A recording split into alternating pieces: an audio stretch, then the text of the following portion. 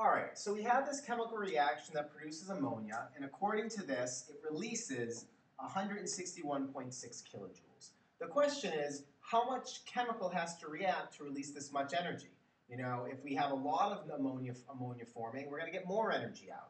So there needs to be some way to quantify this. And there's a few ways. One is, if we know how much N2 reacts, we know that for every one mole of N2 that reacts, 161.6 kilojoules is released. So if three moles of N2 reacts, three times this amount is going to be released. So if you know how much N2 reacts, you'll figure it out.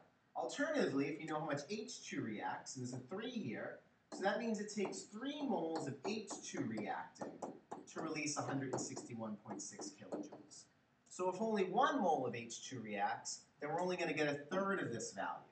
And the last thing we could write is that if 2 moles of NH3 reacts, well, that will release 161.6 kilojoules. So any one of these three exchange rates can work in figuring out how much heat is released. And I got rid of the negative symbol just so I don't like dealing with it. Um, but it, because it's saying heat release, as long as I answer it, this much heat is released, that sort of covers the negative.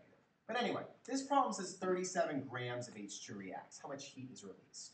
Well, hopefully we notice by now that grams is not going to work for this problem because the exchange rate we need is this.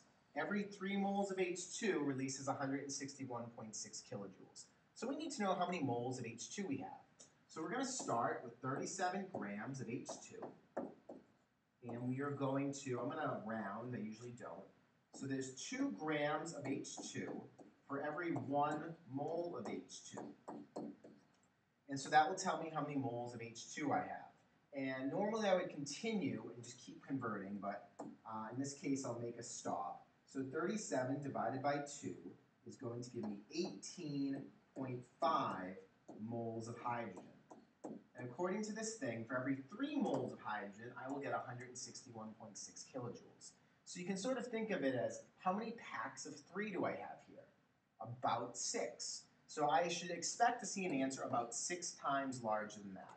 But let's continue the problem.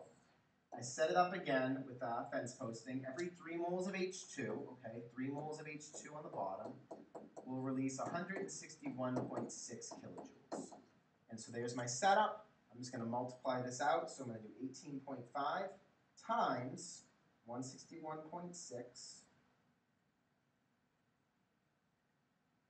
divided by 3. That's going to give me 996.5 approximately kilojoules, which is about six times that amount. So that is how much heat is going to be released when 37 grams of hydrogen reacts. If 50 grams of hydrogen reacted, I would expect even more energy out because I'd have more moles of hydrogen.